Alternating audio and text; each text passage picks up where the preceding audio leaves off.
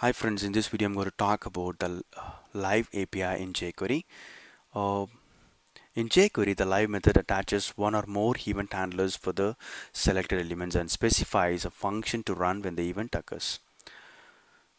For example, in this code, I, am connecting button with a click event. So this is the selected element and this is the event handler. So using live method, you can connect or you can attach a selected element with the event handlers okay?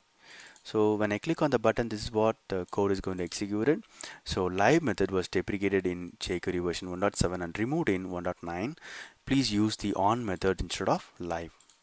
This is the syntax for uh, live API let me show you a very simple example. There are three paragraphs here and a button. When I click on the button these three paragraphs should be slided away. So how can I do that? I have a I have a button and I'm connecting with or attaching with the click event using the live API. So when I click on the button, this is the code. It's going to execute it. So paragraph will be slided.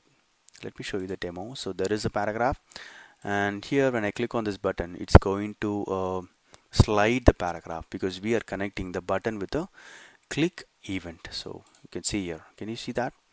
Yes, because we are connecting button with the click event. So, so we clicked it and paragraph is slided away. Hope this video is useful. Thank you.